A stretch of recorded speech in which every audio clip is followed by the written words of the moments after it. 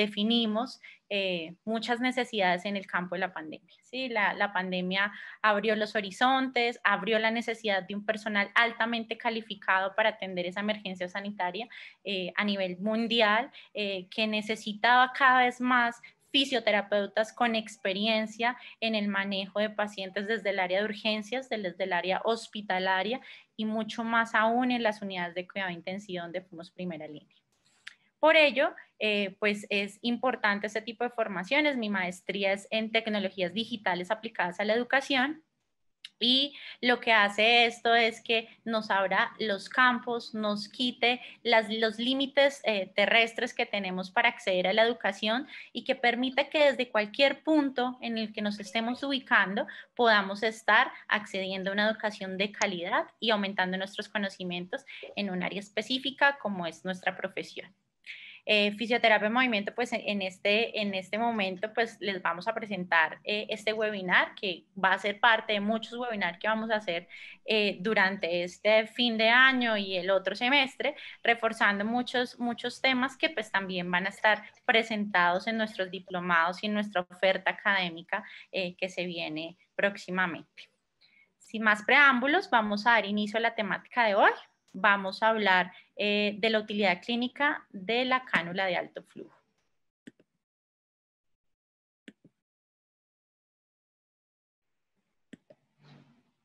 Bueno, entonces, eh, para hablar de esta utilidad clínica de la cánula de alto flujo, pues entendiendo que la cánula de, alto flujo es un soporte de oxígeno eh, que se consideraba inicialmente como una terapia coadyuvante del tratamiento, pero que en la actualidad se considera un soporte ventilatorio no invasivo para el manejo de la falla respiratoria de nuestros pacientes. Esta modalidad terapéutica o soporte ventilatorio pues se utiliza con mucho más grado de evidencia en los pacientes con un grado de hipoxemia, con una deficiencia en la ventilación perfusión o con una alteración del intercambio gaseoso, ya sea por una hipoventilación alveolar. ¿En qué consiste este, este, este soporte de oxígeno? Normalmente, hablando de sistemas de oxígeno convencional, era administrar una cantidad de oxígeno suplementario por encima del 21%, es decir, a la FIOS del ambiente, manteniendo ¿sí? Eh, una saturación adecuada con un objetivo principal que es aumentar la presión arterial de oxígeno en nuestros pacientes, de esta forma mejorar ese intercambio gaseoso y esa oxigenación tisular. Conocemos ampliamente desde nuestras formaciones de pregrado que, existen dos sistemas de administración de oxígeno, uno de alto y otro de bajo flujo, que lo conocíamos comúnmente y eh, empleamos todo el tiempo, ¿sí? Y que ese sistema, ya sea de bajo o de alto flujo, no depende o no está condicionado por el litraje que yo administre. Comúnmente conocemos el Venturi como alto flujo y bajo flujo eh, la cánula nasal, la máscara de no reinhalación, la máscara con reservorio, la máscara simple. Pero no depende, no está condicionado en que sea alto o bajo la cantidad de litros por minuto que yo administre a mi paciente, sino depende de la frecuencia respiratoria y del volumen corriente que esté moviendo mi paciente. Entrando en materia, pues los sistemas de alto flujo que comúnmente empleábamos en nuestro quehacer clínico eh, eran el sistema Venturi, ¿sí? la mascarilla tipo Venturi, que va a permitir administrar un flujo mayor a 30 litros por minuto, alcanzando inclusive el Venturi FIOS de 50% que empezamos a evidenciar desde hace más de 20 años en paciente pediátrico en sus inicios y era que había un sistema de administración de oxígeno que me permitía ofrecer FIO2 más altas que lo que me podría dar un Venturi y que la cantidad de oxígeno que yo quería administrar era precisa que tal vez no era diluida por la cantidad de aire ambiente eh, y que no tenía el principio de Bernoulli. Eso lo hizo más interesante aún y empezó a desencadenar la necesidad de estudiar mucho más a fondo qué era la terapia de alto flujo. Inicialmente, como lo mencioné, fue eh, aplicada en unidades de cuidado intensivo pediátrico y neonatal eh, y lo que evidenciaban era que reducía la tasa de intubación en los pacientes que tenían la terapia de forma temprana en pacientes con una falla respiratoria aguda, evitaba la intubación ¿sí? Evitaba el uso de ventilación mecánica no invasiva y además, pues los desenlaces clínicos eran mejores, resolvían la falla mucho más rápido eh, cuando el caso era de falla hipoxémica de leve a moderada. ¿Cuáles serían entonces estos mecanismos de acción de la cánula de alto flujo? Tenemos varios mecanismos y bajo estos preámbulos pues vamos a analizar que es un soporte ventilatorio que nos va a dar una, una asistencia a la respiración de forma no invasiva, que requiere de ese esfuerzo del paciente, ¿sí? de esa respiración espontánea, pero que al contrario de la ventilación no invasiva convencional va a permitir que nuestro paciente tenga un confort con la terapia dando efectos benéficos en cuanto al aumento de la presión positiva, aumento de los volúmenes corrientes, reducción del espacio muerto, aumento de la hidratación de la vía aérea, entre otras condiciones. Esos mecanismos de acción pues están condicionados al flujo de oxígeno que yo esté administrando eh, y, al, y al, al, flujo y a la cantidad de oxígeno que yo esté administrando. Entendiendo flujo como la velocidad con la que yo voy a entregar un gas y ese gas sería el oxígeno. En la cánula de alto flujo son variables absolutamente independientes. Cuando hablábamos del sistema Venturi convencional que utilizábamos en nuestros hospitales, eh, siempre está condicionada a un mismo litraje, el Venturi, con ese principio de Bernoulli, con una mezcla eh, directa. Más aún, la FIO2 que yo coloco no es tan precisa, no es tan determinada como yo lo quisiera en la cánula de alto flujo no, voy a tener una FIO2 precisa. Si yo decido que la cantidad, la fracción de oxígeno inspirado va a ser 50%, pues así va a ser y no me va a hacer mezcla como en el aire porque yo voy a hacer la mezcla diferente vamos a tener unos efectos eh, frente al lavado de CO2 o la remoción de, CO2, vamos a tener unos efectos eh, frente a la, presión positiva dinámica obtenida o conocida como PIB eh, frente a un litraje mayor a 50 litros por minuto, hidratación de la vía aérea y disminución del trabajo respiratorio. ¿Qué ventajas tiene este sistema de administración? Es no invasivo, es fácil de utilizar, no solamente se limita a la unidad de cuidado intensivo o al área de reanimación, si pensamos en un ventilador mecánico, sino que puede utilizarse inclusive desde domicilio en pacientes que están con una enfermedad crónica agudizada, en unidades de cuidado crónico, en hospitalización, se puede utilizar con equipos específicos o en unidad de cuidado intensivo. Eso hace que la respuesta a mi paciente sea mucho más rápida y que mi mecanismo de trabajo y de acción como fisioterapeuta sea mucho más efectivo y objetivo en la atención de mi paciente que tiene falla respiratoria. Ahora bien, la cánula de alto flujo aeroliza menos. Los estudios han determinado que cobrar mucho más peso durante la pandemia, eh, que la cánula de alto flujo tiene una aerolización aproximadamente a 15 centímetros de distancia, mientras otros eh, sistemas de oxigenoterapia, como es el sistema Venturi la cánula nasal, pues aerolizan entre 20 y 30 centímetros de distancia, lo que quiere decir que puede tener mucho más aspersión de las partículas. La disminución del espacio muerto pues está en esa, en esa barrida eh, de CO2 y de gas alveolar disminuyendo ese trabajo respiratorio al garantizar una FIO2 constante en mi paciente, un flujo adecuado a una temperatura similar a la temperatura eh, corporal de un gas que está totalmente humidificado, evitando la intubación orotraqueal eh, en nuestros pacientes. Todas estas ventajas pueden darse si la terapia se inicia tempranamente. Hay que saber clasificar qué paciente podría ser el que está indicado para nuestra terapia, cuál sería el paciente que sería el mejor respondedor o no a la evaluación.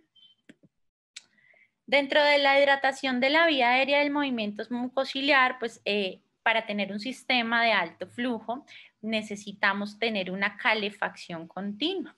Esta calefacción continua pues va a calentar ¿sí? el gas que se va a administrar ese flujo eh, administrado a una temperatura similar a la temperatura corporal que habitualmente se maneja entre 34 y 37 grados centígrados, lo que nos va a permitir que tengamos una humidificación completa del sistema al 100%.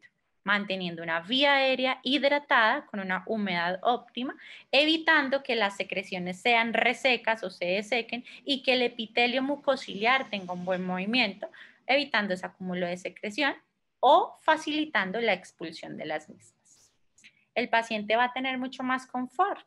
No es lo mismo que nuestro paciente tenga un litraje alto de un gas frío y seco como es el Venturi a 15 litros por minuto, eh, con una FIOS del 50%, eh, un gas absolutamente frío, seco, a tener el mismo porcentaje de FIOS, 50%, a 50 litros por minuto, con una temperatura corporal de 37 eh, grados, una temperatura de la máquina de esa misma grados, y además teniendo una adecuada humidificación. Eso hace que el sistema no necesite estar sellado, que el paciente tenga confort, el paciente puede eh, desplazarse en la cama, puede hacer su terapia física, puede alimentarse, puede comunicarse y eso hace que sea mucho más eh, llevadera la terapia, además que el paciente se sienta mucho más cómodo con ella. El paciente la tolera mucho mejor. Entonces,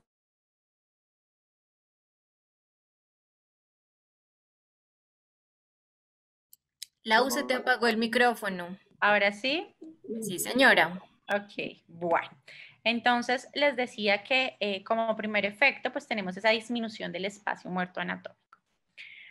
Al hablar de alto flujo, se supone que estamos hablando de flujos por encima del flujo pico inspiratorio. Si pensamos en ese flujo pico inspiratorio basal, que está aproximadamente entre 25 y 30 litros por minuto, pues pensamos en que es superior a ello, estamos hablando de una terapia de alto flujo a esa velocidad del gas, pues va a permitir lavar, ¿sí? Y llevar un volumen constante expirado y una remoción de CO2 indirecto de esa vía respiratoria con un gas que además que va a alta velocidad va enriquecido en oxígeno con una FIO2 que yo aseguro que está bien determinada.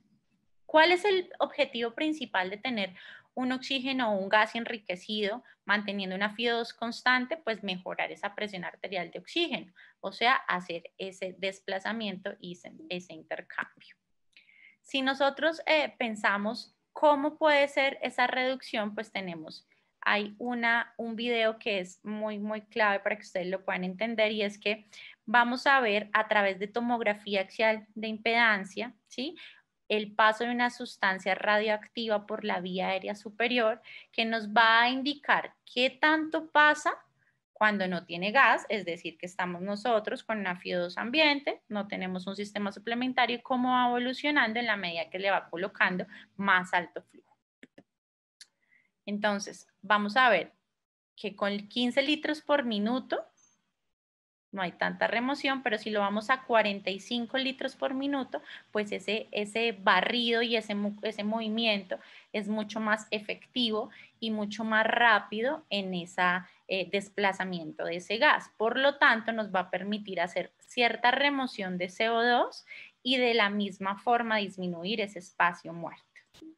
Ahora bien, dentro de esos efectos, perdónenme, me adelanté mucho.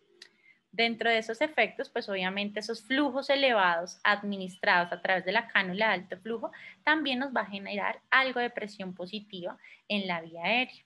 Esta presión positiva está determinada con un flujo aproximadamente de 50 litros por minuto, con una presión constante que el paciente colabore y tenga la boca cerrada. Si el paciente tiene esa condición, la presión positiva que se puede generar, ¿sí? Está en los estudios determinada aproximadamente entre 5 y 8 centímetros de presión, lo que nos va a permitir que se pueda hacer un reclutamiento también activo y un aumento de esa presión arterial de oxígeno. Un mantenimiento de una FIO2 constante. ¿Cómo se realiza eso? El suministro del gas convencional ya sea una máscara facial eh, a 10 litros por minuto, una máscara de no reinhalación, que es lo que estábamos utilizando más en pandemia por la aerolización, eh, pues nos va a asegurar una mezcla de un gas que yo pensaría que a 10 litros por minuto, a no ser que tenga un medidor de ese flujo inspiratorio, eh, tengo un 100% de oxígeno, le voy a garantizar eso, Y cuando vamos a ver las demandas de mi paciente, el paciente demanda un, flujo, un, un pico flujo inspiratorio mucho mayor por ese aumento de ese trabajo respiratorio. Lo que me va a indicar es que el paciente tiene que tomar después de estos 10 litros por minuto que yo le aseguré en el flujómetro, una mezcla del ambiente, una FIO2 variable aproximadamente de 40 litros para poder alcanzar ese 100% de oxígeno que yo desee programar para tener una saturación constante. Cuando tengo la cánula de alto flujo, como tengo dos variables independientes de las cuales programar, pues voy a tener que programar mi FIO2 la que yo desea para mantener saturaciones adecuadas, y un litraje de, oxígeno, de, flujo de 50 litros, que es la demanda del flujo pico inspiratorio de mi paciente en el momento sin tener que hacer ninguna mezcla de oxígeno. En la medida que aumenta esa frecuencia respiratoria, pues vamos a tener una mayor demanda de oxígeno en un sistema convencional. En el sistema habitual de cánula de alto flujo, pues a medida que se aumenta esa frecuencia respiratoria, la FIO2 que se administra va a ser un poco relativa, ¿cierto? Acá no, acá no va a tener ese, ese, ese problema, digámoslo, esa dificultad. Lo que yo programo es lo que voy a tener exactamente, no van a haber variables específicas y yo como clínico soy quien voy a determinar qué flujo voy a manejar, en qué momento lo voy a bajar o en qué momento mi paciente aumentó la demanda del oxígeno. Cuando el paciente está con taquipnea, pues se va a aumentar esa demanda inspiratoria de flujo, teniendo unos flujos rápidos que pues pueden alcanzar obviamente unos volúmenes corrientes variables y obviamente una variación en ese FIO2 entregada. Cuando pensamos en ese flujo pico inspiratorio, esta es otra gráfica que nos va a explicar lo mismo. Eh, siempre que pensamos en un FIO2 inspirado mayor al 21% con una mezcla eh, entre aire y oxígeno, pues vamos a necesitar que se haya una mezcla del ambiente para alcanzar esa demanda inspiratoria de nuestro paciente. Con la cánula de alto flujo no va a ser así. Es una terapia muy efectiva. Cuando hablábamos de que el, aire que va a entrar y ese flujo, ese gas que va a entrar a la vía respiratoria debe ser un gas que está húmedo y que esté eh, caliente para garantizar un confort de nuestro paciente, utilizamos los sistemas de humidificación activos. Eh, conocidos como cascadas servocontroladas, que van a permitir garantizar una temperatura similar a la temperatura corporal. Lo programa el clínico, con qué se instila o con qué eh, está eh, dispensario esta, este, este reservorio con agua eh, estéril habitualmente. Se coloca con un sistema de un macrogoteo que ya lo traen los equipos prediseñados y va a servocontrolar automáticamente esa humidificación continua que necesita ese sistema. Ese gas calentado a temperatura eh, corporal pues va a causar menos desecación de la secreción. Y quiero que lo veamos en este video eh, suministrado por la marca eh, de la referencia para no ser casa comercial. Y lo que vamos a evidenciar es que cuando tenemos una humidificación del 100%, nuestros cilios permanecen con un movimiento activo que van a permitir que las secreciones puedan fluir. Cuando esa humidificación va a estar en un sistema poco calentado, poco humidificado, si vamos viendo los cilios, van perdiendo movimiento. y van a haber secreciones que se van a quedar detenidas en el, en el panel.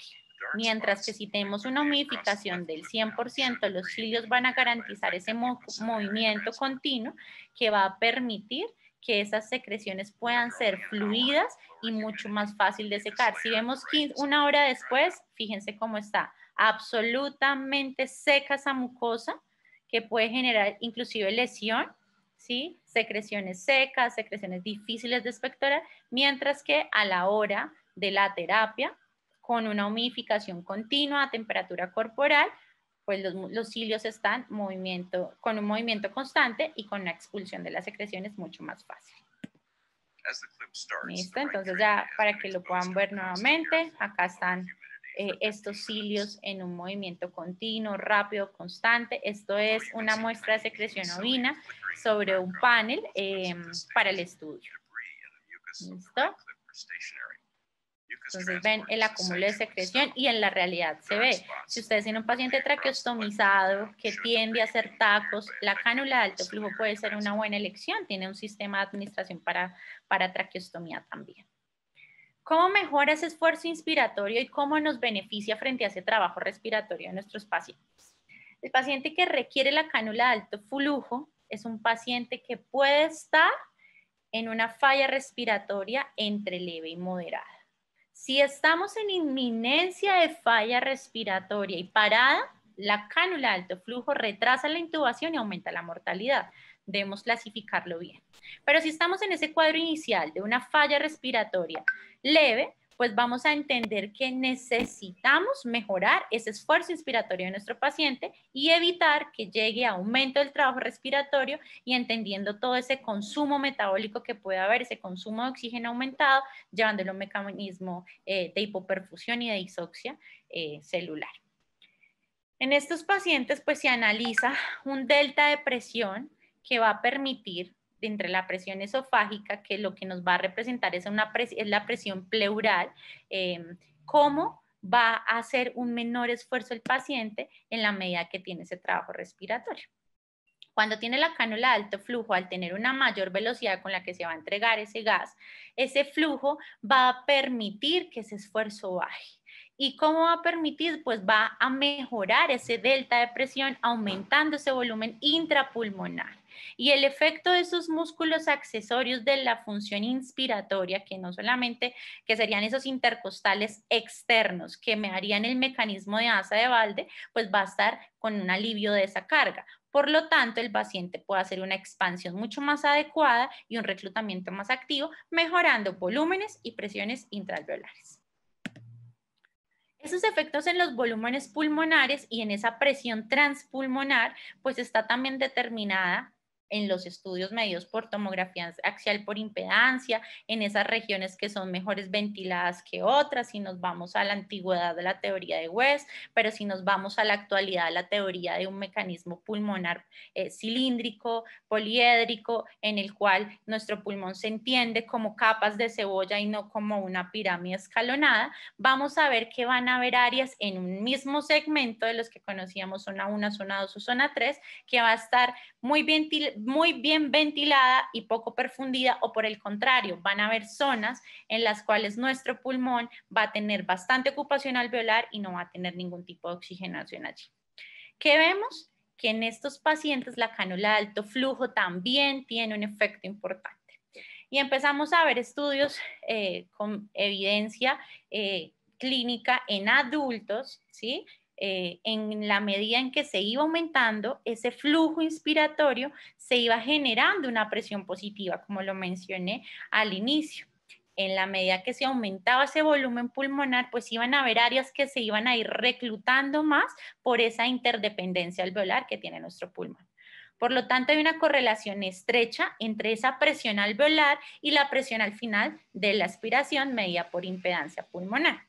¿Qué nos decían esos estudios? Que aproximadamente en pacientes con eh, un, litro, un litraje de flujo programado entre 50 y 60 litros podían obtener una presión positiva al final de la aspiración aproximadamente de 6 a 8 centímetros de agua.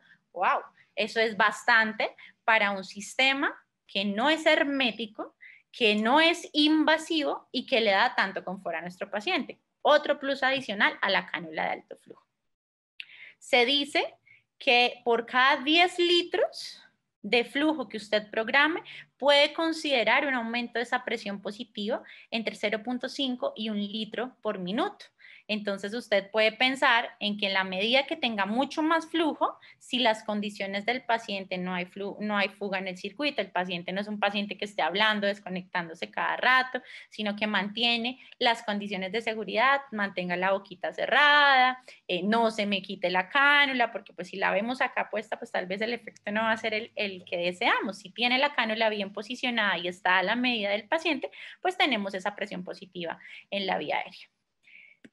Y quiero que vean este, esta tomografía axial por impedancia. Hay equipos que, funcionan como un TAC, pero a la cabecera del paciente con unas bandas eh, de medición importante y esta medición es realizada con uno de ellos y van a ver en la medida que el paciente se le coloca la cánula de alto flujo cómo va mejorando ese reclutamiento en esas, en esas áreas pulmonares.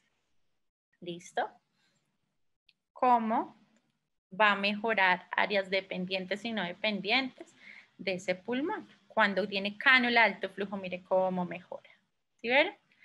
Las áreas se reclutan al hacer un aumento de ese volumen pulmonar y un aumento de esa presión intraalveolar, eh, pues es, es absolutamente medible y eso que me traduce en que mi paciente mejora el distrés respiratorio, mejora ese disconfort del paciente. Esta imagen habla por sí sola. Paciente sin cánula de alto flujo con un sistema de oxigenoterapia convencional eh, y un paciente que sometió la cánula de alto flujo para terapia de manejo de su falla, pues miren cómo funciona ese reclutamiento activo.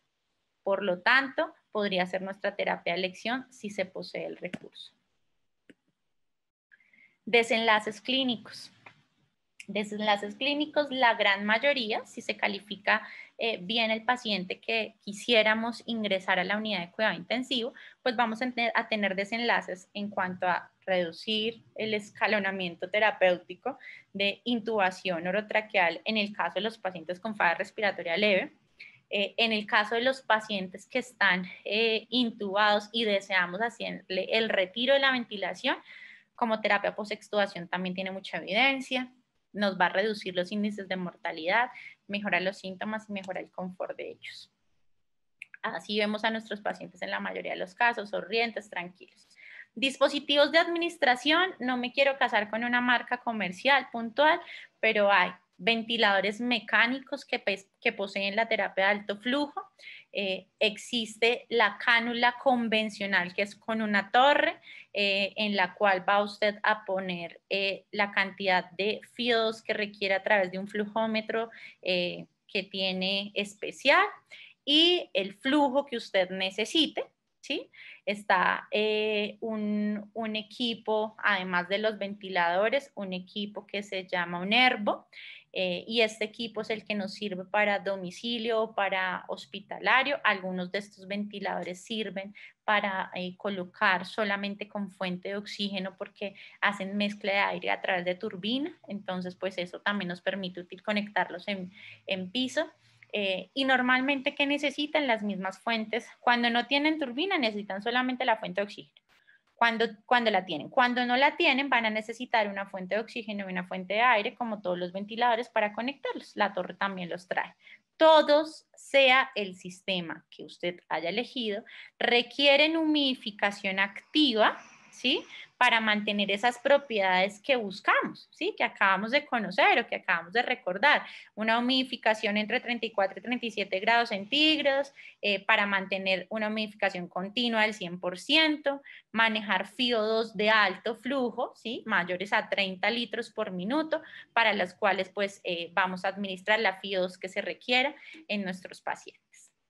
El sistema de oxígeno es una cánula nasal que va a estar eh, diseñada por tallas, viene en las tallas para neonatos, para pediátrico y en el, en el pediátrico viene por edades hasta el año, de un año a los seis y en adelante. Y en el adulto eh, es talla S, M y L. Dependiendo el tamaño de la narina de nuestro paciente, pues vamos a ubicar. La idea es que no tenga un cierre total de la narina, que no haya un cierre hermético porque no es un sistema cerrado debe permitir esa salida, esa exhalación de nuestro paciente. Eh, y la ideal es pues que si yo voy a poner un alto flujo, si yo voy a poner más de flujos eh, de 50 litros en adelante, pues no voy a utilizar una talla S para un paciente adulto. Requiero una talla mayor, ¿sí? Para garantizar que ese flujo se pueda administrar. Flujos inferiores de 50 litros, puedo elegir la talla S si es el caso una regla que nos ha servido en, la práctica clínica, personalmente me sirvió muchos años mientras estuve en primera línea y era eh, mujeres talla M, hombres talla L y si había una nariz muy pequeñita ya evaluaba dependiendo la necesidad terapéutica del litraje con el que yo iba a trabajar si colocaba la talla S o colocaba la talla M, evaluando que no me fuera a hacer un cierre hermético.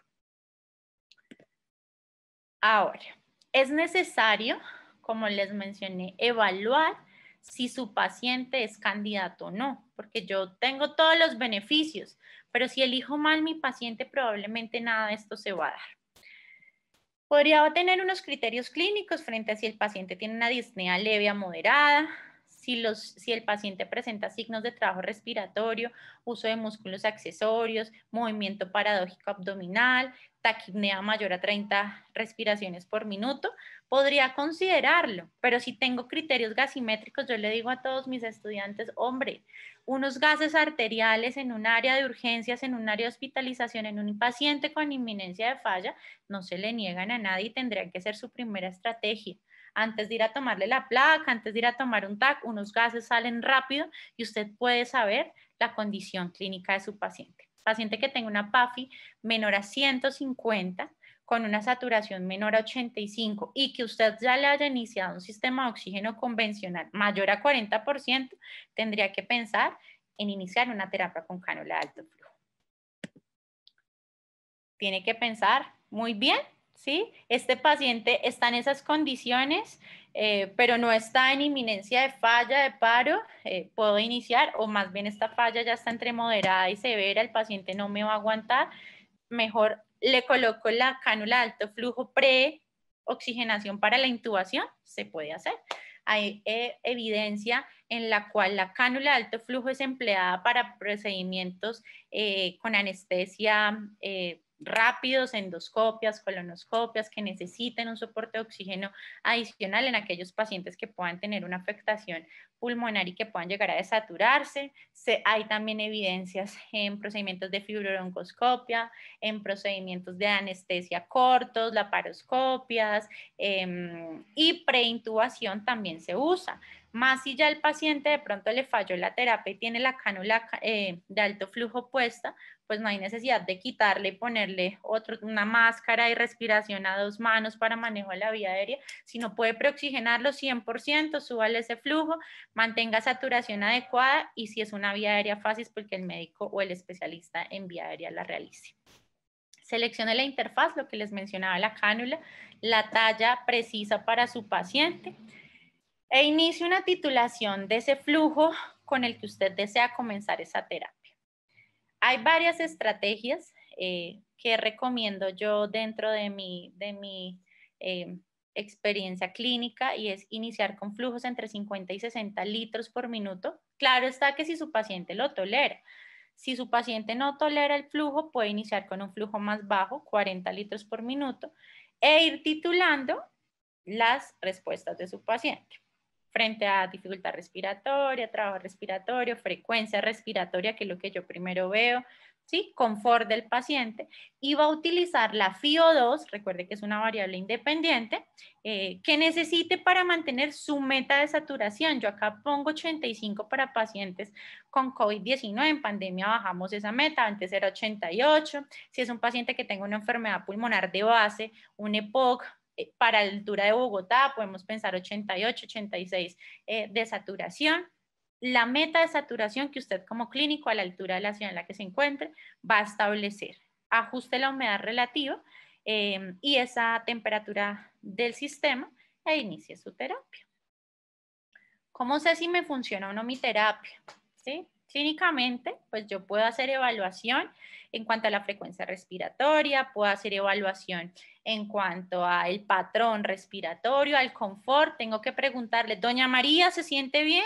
Probablemente la señora ya ni puede hablar, pues la terapia no le está funcionando, pero no, me estoy sintiendo mejor, ya estoy respirando mejor. Bueno, vamos por buen camino. Pero debemos tener una medición objetiva para evaluar si la terapia funciona adecuadamente.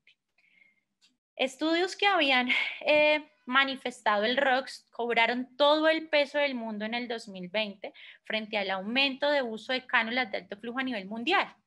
El índice de ROX lo que nos va a permitir es saber si tiene o no posibilidad de falla de la terapia en el tiempo. Se calcula muy fácil, es como si fuera a calcular la SAFI, saturación dividido FIO2, ¿sí? Y ese valor lo va a dividir sobre la frecuencia respiratoria del paciente. Usted puede comenzar a evaluar ROX a partir de las dos horas de la terapia, dos horas, seis horas, doce horas y más de doce horas.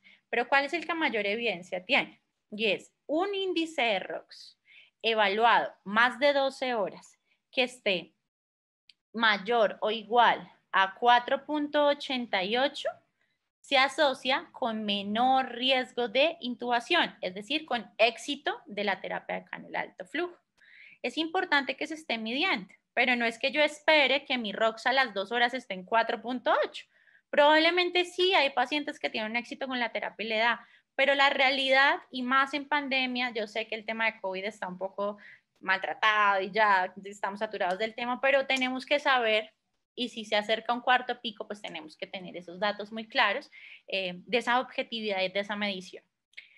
A las dos horas, eh, debo tener un índice de ROX mayor a 2.8. Ahí me dice, vamos por buen camino. Si esto está más bajo a las dos horas, evalúe la eficacia de la terapia y considere una intubación temprana a las 6 horas mayor a 3.4, mayor a las 12 horas mayor a 3.85 y por, y por encima de las 12 horas 4.8, éxito de la terapia. ¿Qué es lo que yo tengo que evaluar? Y les colocamos esta imagen del tiempo de respuesta. Yo tengo que evaluarlo no hasta dos horas, no es que le puso Laura la terapia hoy a doña María y se fue a tomar tinto y a las dos horas volvió a ver si le funcionó a la señora. No, evalúe rápidamente. En los primeros 15 minutos de la terapia, usted debe evaluar que la frecuencia respiratoria con la cual usted inició ha disminuido. ¿Sí? Entre 5 y 15 minutos. Tal vez mientras se acopla el sistema, pues la respuesta no se va a dar en los 5, pero sí se puede dar en los 15 minutos. Debe mejorar la saturación a los 15 minutos, traducida en una mejoría de la oxigenación y el intercambio gaseoso una saturación por encima de la que usted empezó. No le pongo una, es que sature 100%, no. Si su paciente empezó saturando 75 y va en 80, pues vamos mejorando. Que la disnea, y recuerden que esa disnea está por ese aumento del trabajo respiratorio y esa carga muscular que ha tenido nuestro paciente sometido a ese estrés oxidativo y ese mecanismo de, de alteración de ese aporte consumo, pues obviamente esa disnea no se va a ver tan rápido esa respuesta, pero a los 30 minutos yo ya veo mayor confort de mi paciente, traducen que respira más despacio, no veo ese uso de músculos accesorios y el paciente, si yo le califico por BOD, si, soy objetivo y quisiera utilizar una escala, puedo preguntarle o solamente con que me complete la frase, ¿cómo se siente? Y entiendo esa voz que ya no está alcanzada por la fatiga, podría pensar que la disnea ha mejorado uso de músculos accesorios y, y tirajes, ¿sí? tirajes supraclaviculares o retracciones supraclaviculares a la media hora y asincronía o ese patrón mixto de dificultad respiratoria a los 30 minutos. Por lo tanto, la eficacia de mi terapia se debe empezar a ver a los primeros 30 minutos. Se debe tomar los primeros gases a la hora para saber si voy bien, ¿sí? Y si puedo, seguir controlando ya con ROX. Si voy bien, voy controlando con ROX a las dos horas, a las cuatro, a las seis y así voy evaluando la eficacia de mi terapia. Recomendaciones de inicio de terapia. Evidencia, eh, hay estudios en el 2015, insuficiencia respiratoria aguda, preintubación, como les mencionaba, manejaban flujos iniciales de 50%, manteniendo la saturación, la FI2 para la saturación objetivo pacientes con falla respiratoria hipoxémica eh, tras intervención cardiotorácica, de cirugía cardiotorácica, también iniciaban con un flujo de 50%. Pacientes en un cuadro de posextubación con insuficiencia respiratoria aguda también recomiendan iniciar al 50% pacientes que tienen distrés respiratorio, pero son pacientes que se deciden que no se van a intubar, podrían manejarse con un flujo de 35% y comenzar a titular, insuficiencia respiratoria agudo 50%, insuficiencia respiratoria hipoxémica entre leve y moderada podría empezar a titular de entre 35 y subir. Después de cirugía cardíaca, ¿sí? Eh, hay pacientes en que tienen una, una cirugía fast track y se muy rápido, algunos llevan extubados a la, a la unidad de cuidado intensivo cardiovascular, pero por dolor hacen una alteración de esa mecánica ventilatoria del paciente, se empieza a desaturar, probablemente va a ser atelectasias, y si puedo y dispongo de la terapia, ¿por qué no iniciar con un flujo de 35? Esto cuando son cuadros agudos. Cuando son cuadros crónicos, hablando como de POC, de bronquiectasias, la evidencia ahí no es tan fuerte. Está con un alto peso en falla respiratoria hipoxémica. No quiere decir que en hipercapnia no, porque hay un efecto de barrio de CO2 y de disminución del espacio muerto. Pero si nos vamos a la literatura, lo que tiene nivel de evidencia 1 hay de recomendación en EPOC es la ventilación mecánica no invasiva. ¿Sí? En una modalidad tipo BIPAP, eh, que me va a permitir darle esas frecuencias de respaldo a mi paciente, darle mayor confort a través de esa presión de soporte. Otro tipo de recomendación, pues recomendación en falla hipoxémica, posoperatoria, preintubación en insuficiencia respiratoria tras la extubación. Tienen recomendación firma o no a pues la insuficiencia respiratoria hipoxémica y algunas recomendaciones condicionales en las eh, siguientes que sería posoperatoria, posextubación o preintubación. Dependiendo la, la condición y el recurso que usted tenga en su institución, puede definir si va a ser así. Este algoritmo pues le recomienda según la evidencia que el paciente debería iniciar usted como clínico para suplir esa función respiratoria de su paciente un litraje de flujo de 50 a 60 litros por minuto con una FIO2 para mantener 85% de saturación, evaluar cada 30 minutos, como lo muestra la evidencia, la, la mejoría de esos signos de dificultad respiratoria y esa saturación, tomar los gases a la hora del inicio de la terapia evaluar esos criterios de oxigenación para ver si la PAFI se mantiene o por el contrario se cayó, si la PA2 mejoró, si la, el, CO2 eh, se está acumulando o por el contrario sigue barriendo. Medición del ROX, o sea, lo que hemos dicho eh, durante nuestra charla. Y si todo funciona, si toda la terapia ha sido un éxito, tenemos que empezar en retirarlo porque no lo vamos a perdurar en el tiempo cinco semanas con cánula de alto flujo. Vamos a pensar en un destete progresivo. ¿sí? No podemos tener un paciente a 60 litros por minuto con todos esos, esos efectos de presión positiva que vieron y bajarlo a una cánula de 2 litros inmediatamente porque ¿qué nos va a hacer nuestro alveolo? Colapso alveolar, atelectrauma y mecanismos de injuria asociada a la ventilación. Entonces, en ese orden de ideas debe ser progresivo. ¿Cómo se hace progresivo? Un destete del litraje de 5 en 5 litros por minuto, ¿sí? Cada cuatro horas. Entonces, inicié con 50%, todo esto va súper bien. El paciente está con un ROX ya a las 6 horas mayor a 3.4, voy por buen camino. Ya no necesito que tenga los 50 litros, sino voy a empezar a destetarlo, lo bajo a 45 litros por minuto. ¿Y cuánto? Son las 6 de la tarde a las 10 de la noche. Vamos a volver a evaluarlo. Y si el paciente sigue hacia la mejoría, puede bajar otros 5 litros por minuto. ¿Hasta cuándo? Hasta que lo lleve a un sistema de oxigenoterapia convencional, es decir, a un flujo que esté por debajo del flujo pico inspiratorio, menor a 30 litros por minuto. Si el paciente ya requiere 25 litros por minuto, probablemente necesita un soporte convencional de oxígeno y puede utilizar el recurso en otro paciente. Ese destete progresivo pues también tiene que mirar la saturación. Como son dos variables independientes, yo evalúo trabajo respiratorio y disconfort con el flujo y saturación, ¿sí? Con la FIO2 en ese orden de ideas, si mi paciente no le puedo bajar el flujo porque sigue con esa frecuencia respiratoria en 30, el ROX está limítrofe, pero ya está saturando en 94, ¿pasa? Pues empiezo a bajar solamente FIO2, ¿sí? No necesariamente tengo que bajarle las dos cosas. Puedo ir jugando con mis variables para que mi paciente tenga una mejor administración. La aerolización que les mencioné en centímetros, pues lo que menos aerolización evidenció en pandemia, que, era, que fue cuando decidieron hacer esos estudios de qué tanta partícula se aeroliza y qué tanto riesgo de contagio tiene el que está compartiendo la habitación, y más aún el personal asistencial que está atendiendo este tipo de pacientes, pues vieron que tanto la máscara de no reinhalación como la cánula de alto flujo son inferiores a 15 centímetros de distancia de aerolización.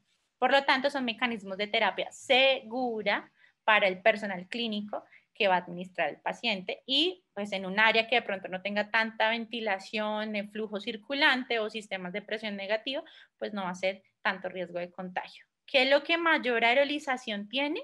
La ventilación mecánica, ¿sí? No invasiva aeroliza casi un metro de distancia de donde está colocado el soporte ventilatorio. Por lo tanto, en COVID, pues no era la primera elección. Ahora, si no había otro recurso, pues se evaluaba, ¿sí? Para asistir al paciente, pero si sabíamos la evidencia, sabíamos que iba a aerolizar mucho, las nebulizaciones un 80 centímetros de distancia, la máscara simple también eh, generaba aerolización hasta 40 centímetros, el Venturi 35 aproximadamente, la cánula nasal también 35. Lo dicho, lo mejor, la cánula de alto flujo o la máscara de no reinhalación complicaciones, porque toda terapia pues tiene beneficios, pero también tiene contra. Toxicidad por oxígeno, puede tener sangrado nasal si no se fija a veces el, el, paciente, para mí está bien, la literatura me dice que tenga 37 grados, pero para él ya está muy caliente y puede generar lesiones en la mucosa, puede ser, puede bajar la temperatura a 34, por eso se hace rango de temperatura, y eh, cuando están con un flujo muy alto puede generar lesión, cuando la cánula quedó muy precisa, pues también puede generar lesión de ese, de ese plejo de Kienzelberg, que es el que nos va a ocasionar ese sangrado nasal. Depresión respiratoria cuando hacen toxicidad por oxígeno, hipotensión arterial, hacen colapso, tal vez el paciente que no responda, eh, y puede generar pues falla de la terapia. Recomendaciones eh, hay que tener vigilancia del patrón respiratorio, vigilancia de la dificultad respiratoria. Si ustedes van a hacer traslados entre eh, va a ir a placa y en la placa queda lejos de la habitación, deben utilizar un sistema de oxígeno convencional porque la mayoría de estos equipos no tienen batería de reserva. Por lo tanto, si se desconectan de la fuente de oxígeno, puede eh, borrar la programación y no suministrarle nada, entonces el paciente se puede complicar. Evidencia traje a colación evidencia en COVID-19, evidencia en falla respiratoria. Eh, este, este estudio está diseñado ¿sí? en falla respiratoria hipoxémica aguda, evaluando esos efectos fisiológicos y lo que nos evidencia es lo que ya hemos, nos refuerza todo lo que ya hemos visto. Menor esfuerzo inspiratorio en aquellos pacientes que recibieron una FIO2 eh, de acuerdo a su saturación y un flujo mayor a 50 litros por minuto, mejoría de ese volumen pulmonar al final de la inspiración, mejoría de la distensibilidad, mejoría significativamente de la oxigenación con una P eh, de 0.001, o sea, la variable, eh, la hipótesis absolutamente confirmada, mejoró la frecuencia respiratoria, el volumen minuto, la relación entre el volumen corriente y esa distribución ventibular em, de ventilación-perfusión que fue homogénea. Evidencia preintubación y posextubación, también lo hay, tiene bastante recomendación. Eh, en cuanto a la modalidad, los estudios lo respaldan, el doctor Hernández y Roca que, que han escrito tanto de este sistema, pues evidencia fuerte lo tienen. Ahora está eh, las condiciones puntuales del paciente que usted quiere utilizar, la terapia de alto flujo. Eficacia en pacientes con EPOC, eh, también está presentado en unos efectos a corto plazo y es seguro en pacientes con EPOC que estén normocápnicos como con una hipercapnia relativa, siempre y cuando la falla sea hipoxémica, lo que lo llevó a la urgencia. Niveles bajos de oxígeno fueron efectivos, ¿sí? no necesito mantener saturaciones tan altas con ellos para corregir esa insuficiencia respiratoria hipoxémica y reducir esa hipercapnia, obviamente pues va a reducir el consumo de oxígeno y esa carga muscular que presentan estos pacientes. Efectos posextubación con la cánula de alto flujo versus ventilación mecánica no invasiva, estudio randomizado. Esta, la tasa de, de posextubación fue menor, de reintubación posextubación fue menor en el grupo de cánula de alto flujo que en el grupo de ventilación mecánica no invasiva. Eh, evitó esa reintubación, eh, más, más se sumaba ese confort del paciente y esa rehabilitación temprana que podían ingresar en este grupo em, que tenía la cánula de alto flujo. Y eh, en los pacientes que fallaron, que de este estudio fueron siete pacientes los que fallaron de 50, o sea, la muestra tampoco fue tan alta, eh, y nos mencionaba que la reintubación fue similar en ambos grupos, en los que tuvieron ventilación invasiva o en los que tuvieron cánula de alto flujo, en ese orden de ideas. Sin embargo, en general, fue mayor éxito los de la cánula de alto flujo. Este es otro cánula nasal de alto flujo versus máscara tipo Venturi.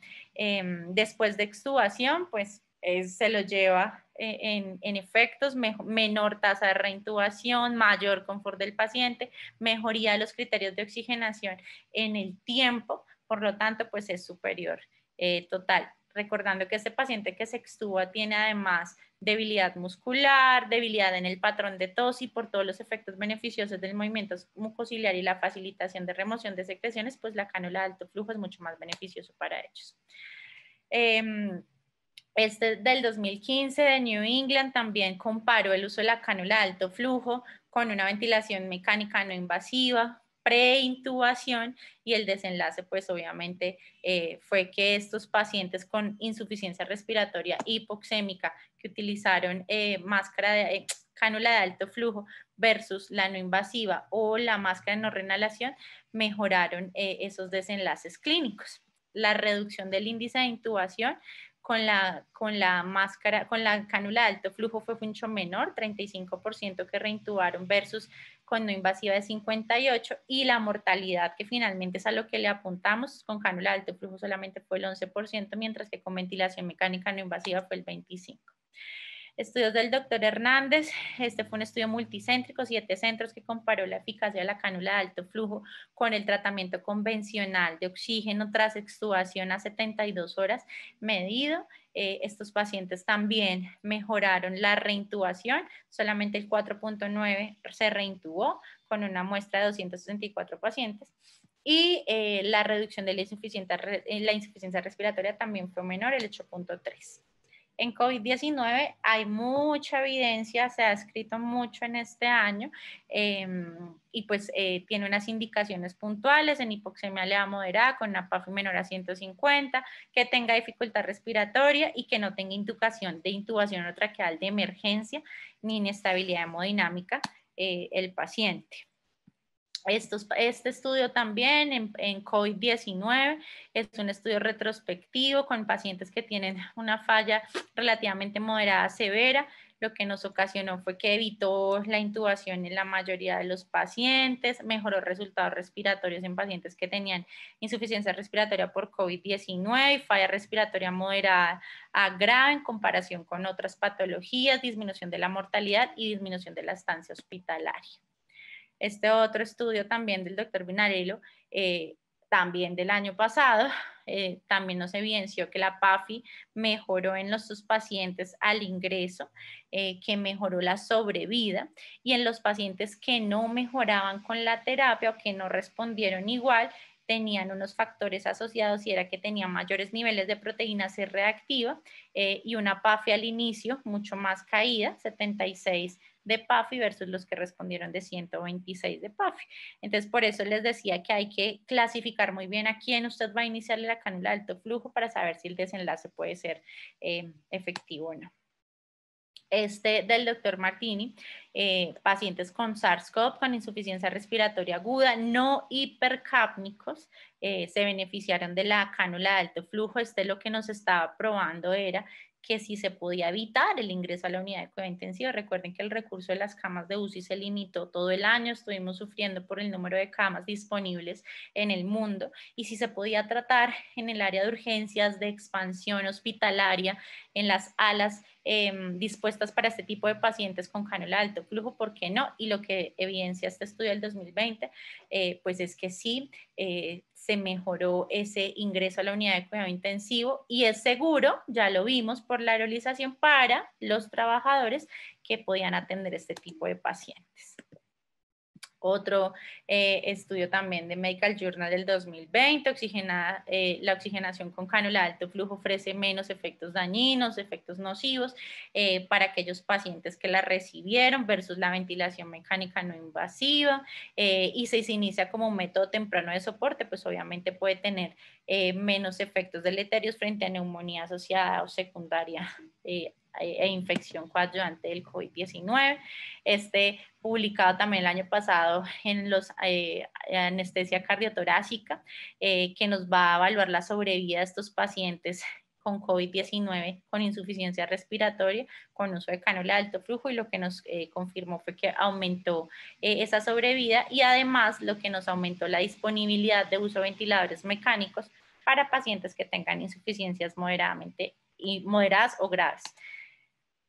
¿Qué nos recomienda eh, la Sociedad de Cuidado Intensivo Americana? para pacientes con COVID-19 se sugiere la cánula de alto flujo sobre la cánula convencional o sobre el sistema Venturi convencional, em, sobre la ventilación mecánica no invasiva también tiene mayor peso y cuando la cánula no está disponible pues, eh, y no es urgente la intubación traqueal, algunos ensayos clínicos sugerían la ventilación mecánica no invasiva con condiciones específicas y era que tuviera una máscara tipo helmet que evitara la aerolización, que tuviera eh, sistemas de presión negativa en el cubículo, que tuviera flujo circulante de ventilación para garantizar pues menos acúmulo de aerosoles en el área.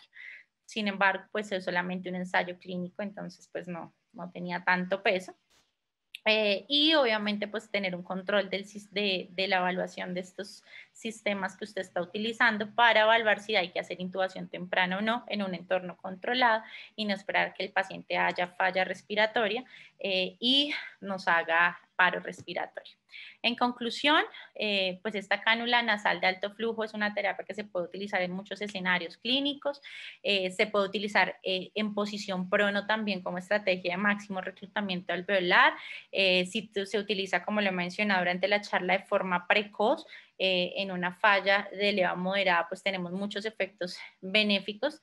Em, se deben utilizar pues protocolos de manejo convencionales, eh, en los cuales ustedes van a titular, no se pongan a, improvisar, a correr. Estos pacientes de analizarlo, de, leerlo bien clínicamente, está así, gasimétricamente está así, lo voy a iniciar así, lo monitorizo así, que yo tenga un análisis juicioso me puede determinar una atención segura en mis pacientes, incluir la valoración de índices eh, objetivos como es el índice de ROX, eh, la, rutina gasimétrica en ellos y pues a toda costa uno quisiera evitar la intubación traqueal en una condición eh, crítica del paciente. Si ya la terapia falló, en un entorno controlado, poderlo preoxigenar y mantenerlo con un confort para poder hacer esa intubación traqueal eh, para que me lleve a menos riesgo de perder la vida de mi paciente. Muchas gracias.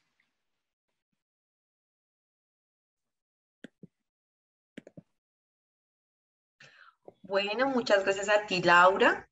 Realmente eh, ha sido una maravillosa exposición que has hecho sobre este tema. Podemos ver tu experticia eh, y pues obviamente esperamos que esta información sea de gran valor para todos ustedes. Eh, nuevamente les contamos que Laura es una de nuestras speakers internacionales que participa en tres de los diplomados de eh, la ruta de aprendizaje correspondiente al área de fisioterapia clínico-terapéutica. Para las personas que no lograron conectarse el inicio del webinar, eh, les agradecemos también por haberse conectado, si haya sido un poquito tarde, para nosotros como empresa es muy valioso contar con la participación de todos ustedes. Sabemos que tenemos estudiantes de toda Latinoamérica y que pues justamente por esas necesidades que ha traído y nos ha dejado la pandemia y aprovechando estas plataformas digitales, podemos llegar y transmitir el conocimiento a cada uno de ustedes desde nuestras casas. Este es uno de los pilares de nuestra empresa y de nuestros valores agregados y es que buscamos compartir el conocimiento porque consideramos que es abierto para todo el que quiere aprender un poco más, para quien quiere actualizarse y buscamos de mil maneras los recursos posibles y viables para que ustedes puedan tener el acceso a esta información y a todas nuestras formaciones. Dentro de nuestros valores también nos hemos caracterizado por la calidad educativa que ofrecemos y hoy pues Laura ha ratificado en todo y lo largo de esta exposición esa calidad académica con la que nosotros contamos y con la experticia que cada uno de nuestros speakers eh, maneja. Adicionalmente queremos contarles que Laura también va a estar en el diplomado que inicia el 12 de octubre en fisioterapia clínica. Es un diplomado que abarca diferentes temáticas de las generalidades de anatomía y fisiología de los diferentes sistemas corporales, pues como bien lo explicó Laura, tenemos una afectación importante de pacientes con compromiso y disfunciones eh, pulmonares, pero también tenemos que ser conocedores como profesionales en las ciencias de la salud de que cualquier sistema puede llegar a afectar otro sistema y como profesionales integradores debemos conocerlo y abordarlo. Eh, les rogamos el favor de mantener los micrófonos en silencio. Muchas gracias. Eh, adicionalmente, en este diplomado, pues ustedes van a encontrar información sobre exámenes clínicos, cómo aprender a leer y cómo aplicamos los diferentes para clínicos médicos en rehabilitación, tanto física como en rehabilitación eh, del cuidado respiratorio para quienes nos hemos desempeñado en estas áreas o tienen un interés de empezar a trabajar en estas áreas abordamos los diferentes sistemas de oxigenación, puesto que consideramos que es es fundamental en este tiempo conocerlos, manejarlos, apropiarnos de la correcta prescripción que se debe hacer para cada uno de los pacientes, puesto que puede beneficiarlo o por el contrario puede llevarlo a deterioro clínico y funcional, así como también abordaremos las diferentes estrategias de intervención terapéutica para pacientes que comúnmente encontramos en el ámbito hospitalario, desde el compromiso cardiopulmonar, desde el compromiso multisistémico, que afectan indudablemente eh, la función motora y estas capacidades que hacen que nuestros pacientes realmente puedan reincorporarse a una vida cotidiana o a una vida normal. Como les habíamos comentado también, para todos ustedes, hoy tenemos una rifa que eh, corresponde a una beca del 100% de uno de nuestros diplomados, aplica para los diplomados que tenemos en oferta actual para el año 2021. Recuerden que nosotros somos una empresa que está eh, en una migración importante hacia un desarrollo digital. Somos pioneros en la innovación educativa en fisioterapia a nivel de Latinoamérica. Enseñamos través de plataformas digitales y a lo largo de todo este año y esta pandemia hemos hecho diversos pilotajes que nos han permitido ir perfeccionando la forma de nuestra enseñanza y asimismo pues capacitar a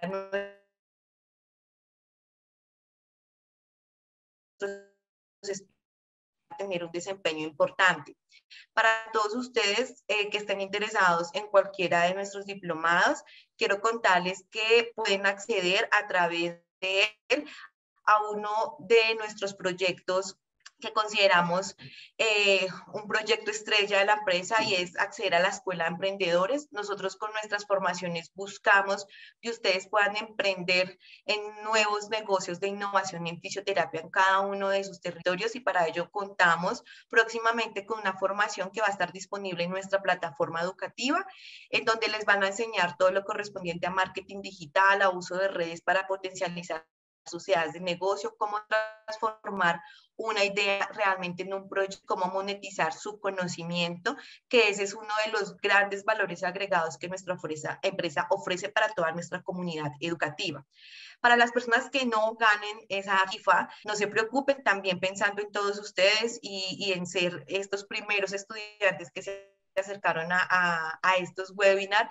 Eh, por el día de hoy vamos a tener eh, un código promocional que les va a llegar a sus correos electrónicos con los que se registraron. Este cupón va a ser efectivo para un descuento del 30% en el diplomado de fisioterapia clínica, que como les menciono, este diplomado inicia a partir del siguiente mes, a mediados de octubre, el 12 de octubre, damos inicio y apertura a la formación y aplica solamente para compras a través de la página web. En el chat ustedes ya encuentran el link donde pueden revisar a detalle la oferta, cuáles son los objetivos de la formación, a quién va dirigida la formación y cuál es el contenido temático que se desarrolla en cada uno de los módulos. Y si alguno de ustedes eh, no tiene la posibilidad o se le dificulta en este momento poder acceder al pago directamente desde la plataforma, también a través del chat les estamos compartiendo el número de contacto WhatsApp para que se comuniquen con uno de nuestros asesores y puedan evaluar las diferentes líneas de financiamiento con la empresa, ya que directamente pues ellos les brindarán toda la información y pueden llegar eh, de acuerdo pues a, a cada uno de estos planes que tenemos a ustedes. La idea es que se inscriban, no se lo pierdan. Eh, hemos visto, y Laura lo rectificó, es una necesidad inminente seguirnos actualizando en el área de la fisioterapia clínica, puesto que la tendencia para el 2022 en fisioterapia aún sigue punteando en la rehabilitación intrahospitalaria.